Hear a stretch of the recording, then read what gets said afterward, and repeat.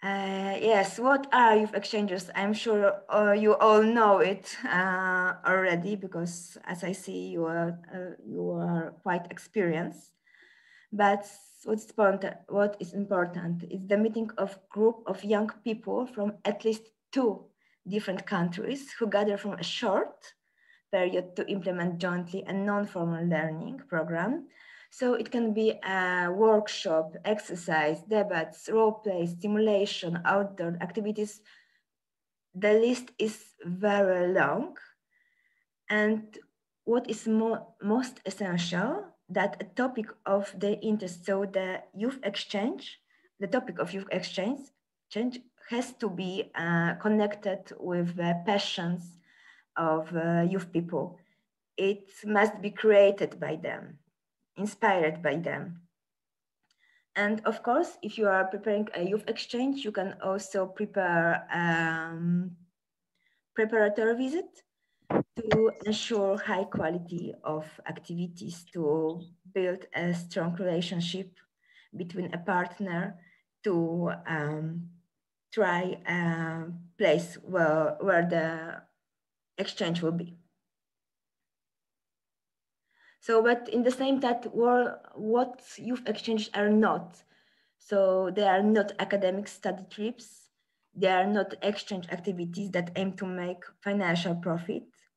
Exchange activities that can be considered as a tourism. So um, a group of young people can't go just to the mountain, for example, for hiking. It's not a youth exchange. Uh, festival, holiday, travel, uh, performance tours, statutory meetings, training courses by adults for young people. So once again, the role of young people is essential.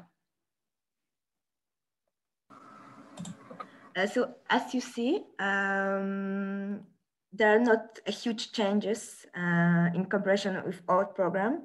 It's nearly the same. And eligibility criteria are also quite similar. Who can participate. Uh, a non-profit organization, association, NGO, European Youth NGO, a public body at local, regional, national level, a social enterprise, a profit-making body active in corporate social responsibility, an informal group of young people, and in this, um, the same as our old program, um, the organization must be established in program country or a partner country, neighborhood, the EU. So the same as uh, uh, previously regions one to four. And of course you can find the uh, all information in the program guide, but the applicant must be established in program country. So partner country can be just a partner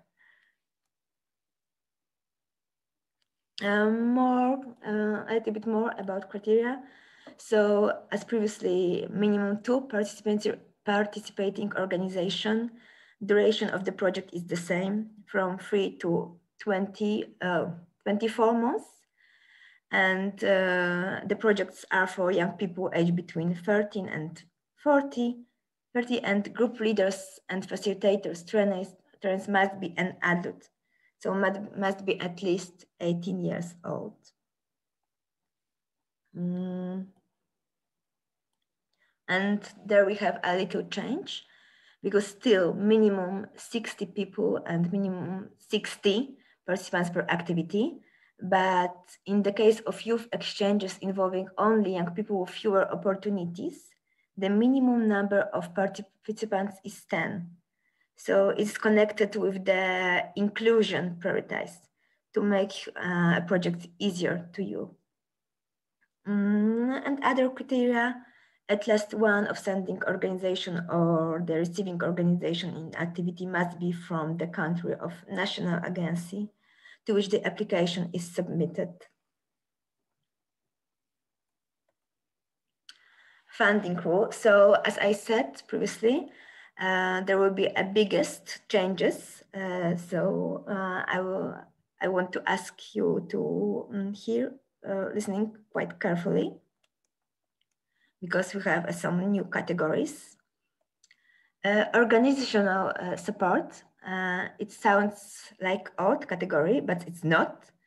because now it, uh, it's a fixed amount, 100 euro per participant in youth exchange. Um, and it's based on the number of participants, excluding group leaders, uh, accompanying person and facilitators. So it's only for participants. And the costs have to be uh, directly linked to the implementation of the, of the mobility activities. Travel is similar to the um, old one.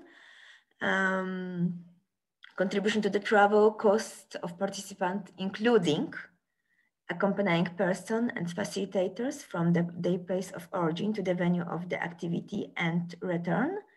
Of course, you can find exact rates in Erasmus program guide, but what is new, uh, it is a higher budget for uh, green travel. Mm, what is it, green travel? Mm, it's not very clean, uh, clear, uh, but it's for example, uh, it's for example train with a uh, yeah,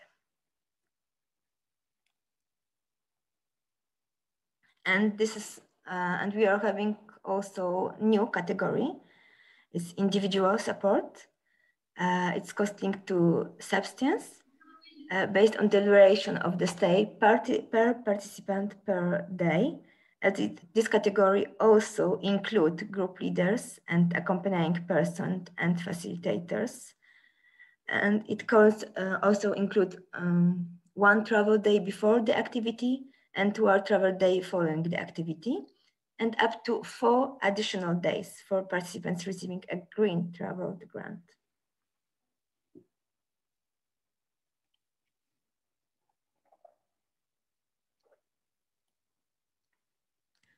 The next new category is inclusion support. Inclusion support.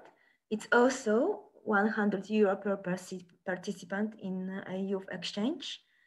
And it's um, additional costs related to the organization of mobility activities for participants with fewer opportunities and the accompanying person. And this is a real cost, 100 of eligible cost. Mm, like previously, we are having uh, money for a preparatory visiting support, but now it's a fixed amount um, per participant per, per preparatory visit. And um, the second change is that now we are having only maximum one participant per uh, organization. So not two as previously.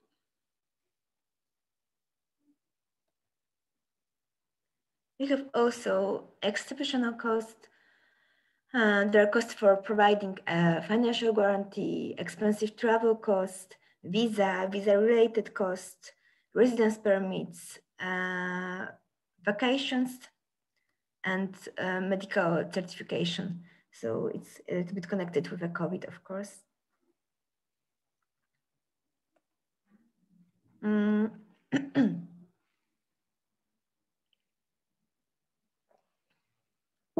as I said previously, now it's two way of applying for funds. And the new one, it's for accredited organization. I will tell you later what is accreditation. And application for funding and action from approved accreditation plan. Uh, technical conclusion without qualitative part deadline is uh, 11th May, May, once a year. And it's easier to get a funding. If you have accreditation, you are giving just a technical conclusion. But in the same time, of course, you can apply in the old way for organization without accreditation. And uh, we are now we are having uh, two deadline.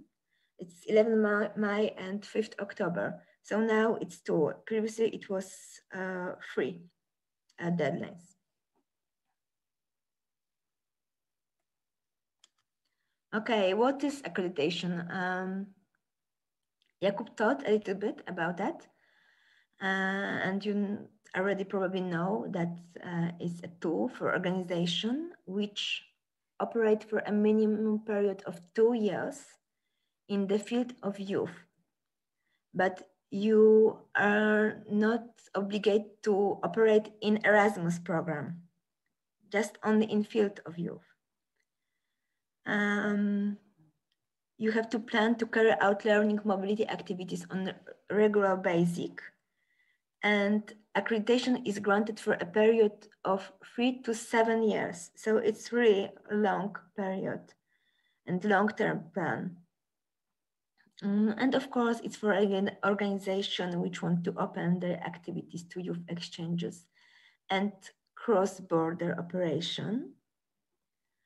And if you're having an accreditation, uh, you have simplified access to funding uh, opportunities under Action Q1 of the program. Um, and we told you about it, but I will repeat it.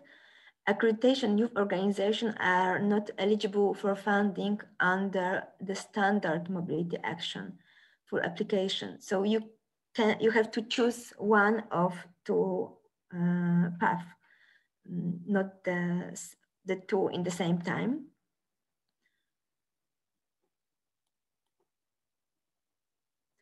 Um, but the expectation in uh, this year, uh, we are changing a little bit the rules uh, because I'm sorry, organization which were awarded the accreditation after the deadline for a grant request in May may submit standard form application for youth exchange and mobility project of youth workers in the second deadline.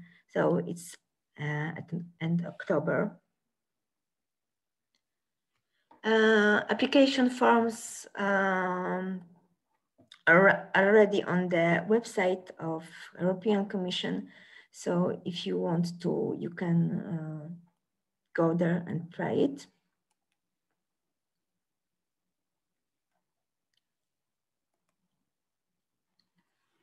And um, now we can talk a little bit about priorities. So as I said uh, previously, very important to European Commission will be inclusion and diversity because we want to promote equal opportunities, accessible and inclusive project activities, taking into account the view of participants with fewer opportunities, and to work on inclusion and diversity as subject of the project. For example, to support fight against stereotypes. And we are giving you uh, different tools, for example, uh, bigger budget with inclusion uh, category and short term, uh, short term of the project and um, less participants uh, to the project. So I think it's quite accessible to uh, create such a project like this.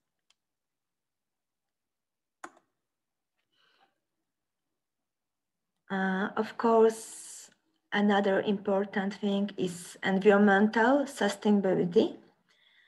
It's promoting environmentally sustainable and responsible behavior among participants. For example, choosing uh, the green uh, ways of, of transport, raising the awareness about the importance of acting to reduce or compensate for the environmental footprint of mobility activities, and design of Im implementation of youth exchanges with environmental consciousness. Of course, it don't have to be a topic of one exchange, or of these priorities in this one time. Mm. Because of nowadays of now situation, another important priority is digital dimension of the Erasmus. So we are trying to incorporate the use of digital tools and learning methods to complete project physical activities to improve the cooperation between partner organizations and to improve quality of the activities. And as Jakub said, uh, another important issue is youth quality standard and the implementation of all projects supported under the action must follow the Erasmus Youth Quality Standards for organization high quality learning mobility activities. So it is obligatory to you. And the Erasmus Youth Quality Standards cover the basic principles of the action as well as concert implementation practices for project tasks such as selecting and preparation of participant, definition, ev evaluation, and recognition of learning outcomes. So uh, it can be very helpful to you uh, in the time of preparing the project, a good project. And of course, the Erasmus Youth Quality Standards are available uh, in our website, websites. I think it would be nice, Ada, to clarify a bit more about uh, inclusion uh, support. Uh, I mean, people with fewer opportunities and people with uh, special needs. I think we can talk about this a bit more because there are several questions regarding this. Um, yeah, also as a budget category. Okay. Um, but give me a moment, Aga, because I don't know what exactly, what to crave for it exactly and now I have some noises in my flat, so I can't. I can't. There was a question: uh, What should we use for inclusion support? Uh, I, I, think in terms of the the budget category, because I think that, that there was another question: What is uh, what is inclusion in general and young people with fewer opportunities? And uh, Agnieszka answered already to this question. So um, maybe also how we can uh, fund uh, young people with few opportunities within a project. Yeah, just give me a minute.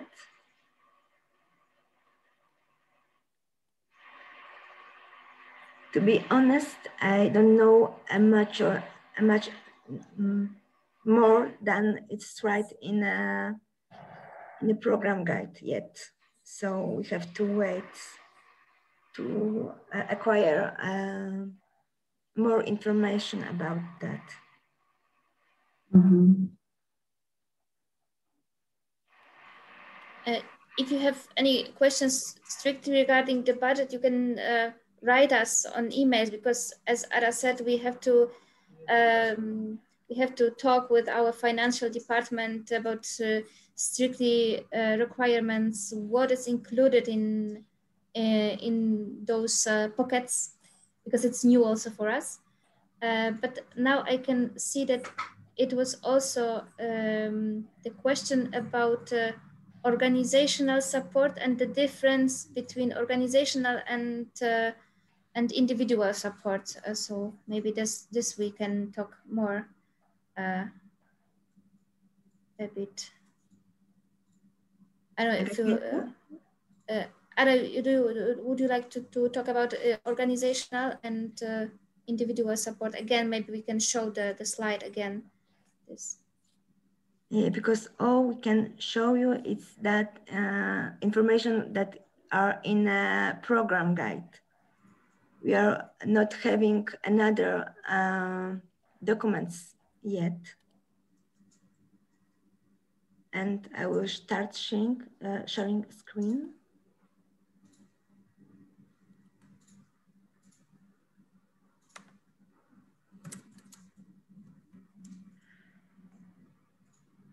Yes, so organizational support has to be directly linked to the implementation of mobility activities. And that's the all information which is uh, in the program guide now.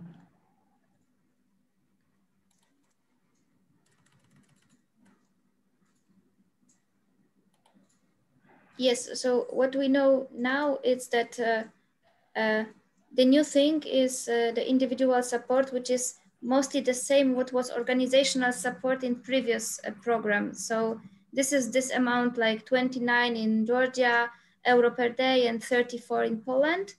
And the new mm-hmm. thing is this, uh, this what, what is now called organizational support. It's a kind of unite, un, united costs like 100 euro per person uh, per whole uh, youth exchange. So if we have 10 people, 10 participants, we have 1,000, yes.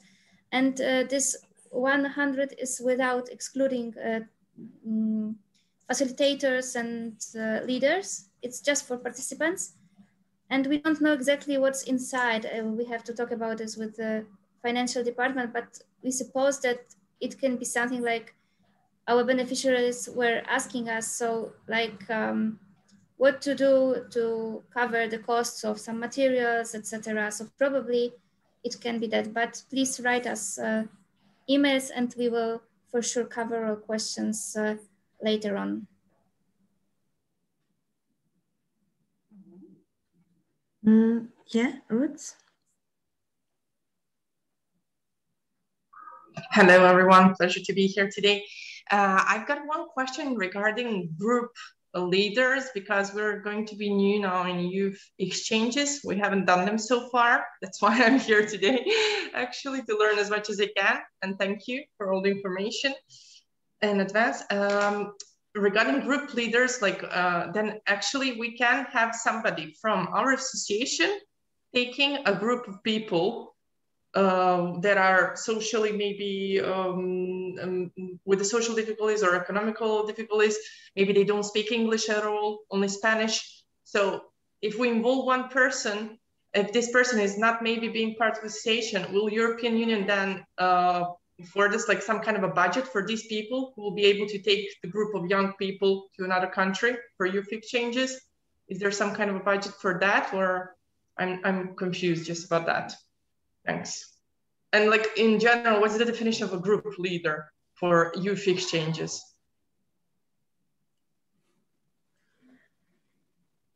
Could you repeat the first uh, the first question? Uh, because yeah.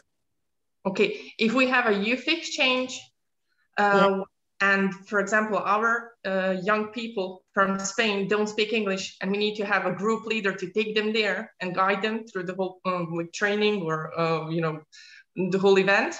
Well, uh, if we need uh, to take somebody who will not be from our association mm-hmm. uh, to represent our association, if nobody from us can go at the moment of the training, for example, uh, is there some kind of a budget from European Union that we can provide to, to a person who will take uh, like a youth worker who will take them? I think it's just uh, organizational support. Mm, do you agree? organizational support yeah. would be done. Mm -hmm. I think yes. so. Mm. Or maybe think... the inclusion also. Mm -hmm. Mm -hmm. Thanks. Uh -huh. And I don't know if if I understood you correctly, Ruth, but uh, um, there is also something.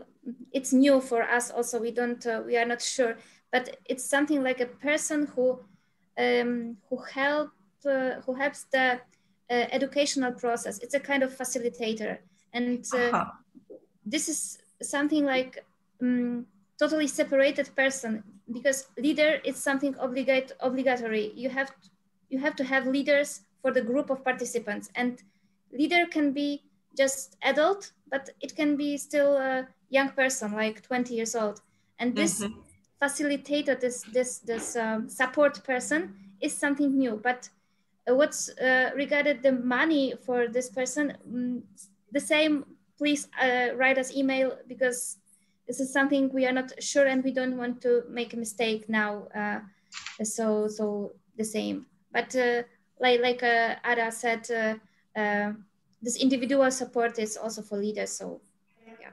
Uh-huh, okay, so individual support is also for leaders. Uh-huh. Okay. Yes. Okay, thanks. The thanks leader is obligatory and facilitator is no, not. So mm -hmm. we have also team leader and yeah, so the leader is obligatory, and then if it's obligatory, it's individual support, right, for, for this new uh, program, to, uh, 2021, 2027. Yes. Okay, thank you. Thanks a lot.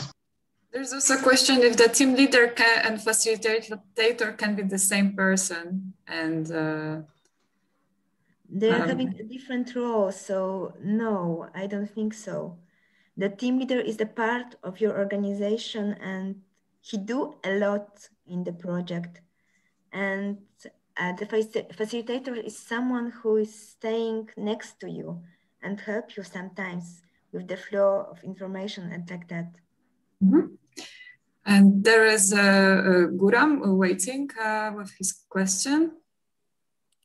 Yeah, hello, first of all, and thank you for the information you have delivered to us. So actually I have uh, two questions from the guideline itself. So I have a screen, but I cannot share the screen, but there is written, first of all, about number of participating organizations. And then there is written something like this, activities within program countries and all participating organizations must be uh, from a program country. So this leaves me some kind of impression that, for instance, if uh, Georgia, like organization from Georgia is participating in the project Youth Exchange, it can only participate in the one which is taking place on the territory of like other partner country, not in program countries. Like more specifically, for instance, it seems for me that organization from Georgia cannot participate in the project from Germany or Poland or other program countries. Is it right or I just misunderstood it?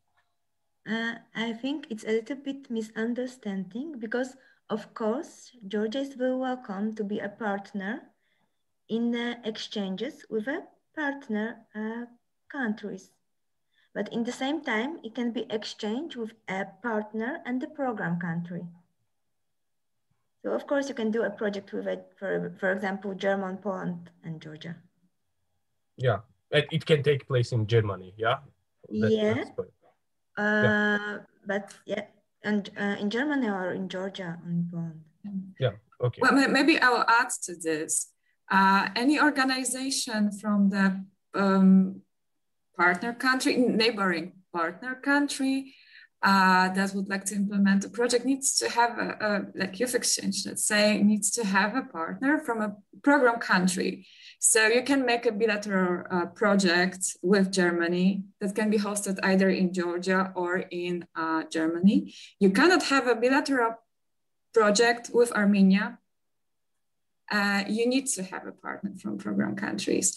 And uh, the more participants, participating organizations from different countries, this, uh, the, the balance also is very important uh, between um, the number of neighboring uh, countries and program countries.